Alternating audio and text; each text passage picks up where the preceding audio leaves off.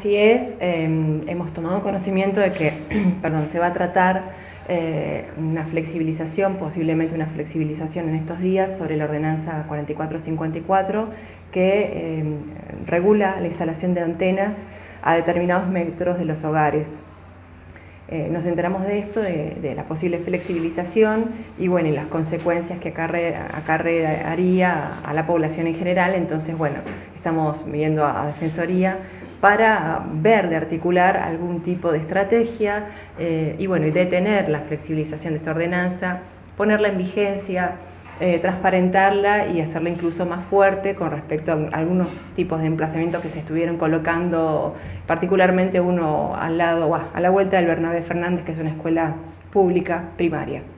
Sí, la verdad que sí, ayer a la tarde nos enteramos de que se iba a tocar este tema en el Consejo, entonces, bueno, nos movilizamos rápidamente y tratamos de, bueno, de traer notas al defensor, que nos recibió amablemente, la verdad, sin pedir audiencia, sin nada, y también queremos llegar a los consejeros para poder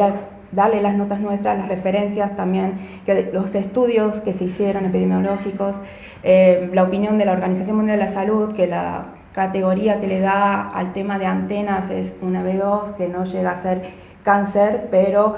hay estudios de la Universidad Nacional de Córdoba y estudios de Cuba y bueno, de muchos otros lados que dicen que sí, que producen eh, cáncer, más que todo a los niños que tienen el, eh, digamos, las células madre que se están, están creciendo y es donde más, eh,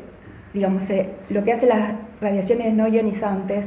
es que levanta la temperatura del cuerpo, un grado, dos grados. Y también hay, eh, produce, el otro estudio que se está realizando en este momento, que es del 2016-2017, es que produce em, como alteraciones en, los, cuando mandan la información eléctrica, es también eso es lo que se produce, digamos que está produciendo em, mayor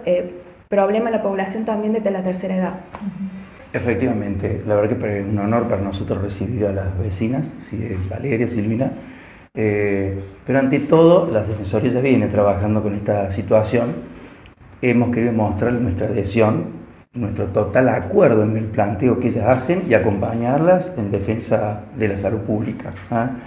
Más allá de las características polémicas que pueden tener la instalación de antenas, coincidimos que hay un perjuicio en la salud y bueno, como defensor de la salud pública vamos a trabajar, vamos a acompañar y adherimos absolutamente al petitorio y la inquietud de las vecinas. ¿Cuáles son los pasos a seguir ahora, defensor?